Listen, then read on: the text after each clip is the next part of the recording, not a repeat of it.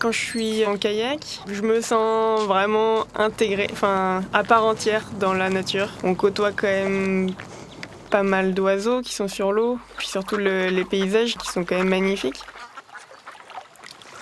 Je prends l'énergie un peu dans, dans tout ça, je sens que je fais partie de la nature.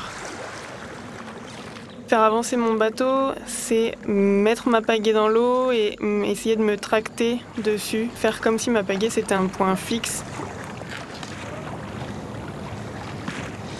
Les sensations sont très différentes en fonction de la température de l'eau. Plus l'eau est froide et plus on la ressent comme dure. Et au contraire, plus elle est chaude et, plus la passer dans l'eau est facile.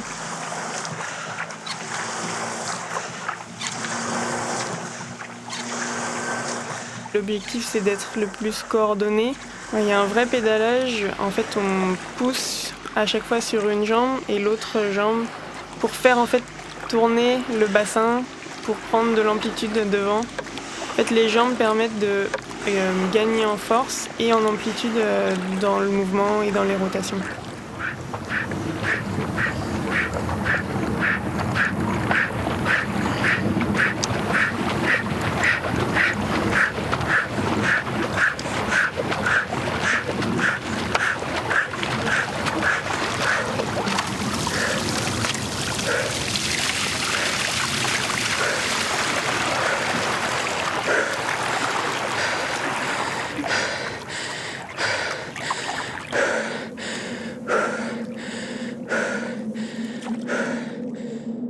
En course en ligne, euh, il y a de grandes sensations de vitesse qui sont en partie liées à la glisse du bateau.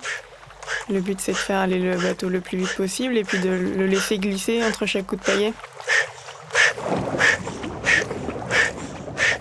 Le 200 mètres, je le fais en 39 ou 40 secondes. C'est vraiment du sprint pour nous. Il y a très peu de stratégie. Pour moi, c'est vraiment de partir à fond et euh, atteindre la plus haute vitesse max possible. Et après, l'objectif, c'est celui qui ralentit le moins qui arrive euh, devant à la fin.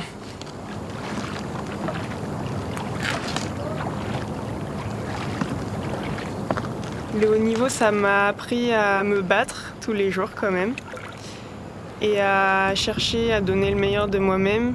Et du coup, ça m'a aussi appris euh, l'humilité parce que en kayak, on est toujours dans l'obligation de s'adapter. Et c'est pas l'environnement qui s'adapte à nous, c'est nous qui nous adaptons à l'environnement. Ça demande euh, à rester humble au quotidien.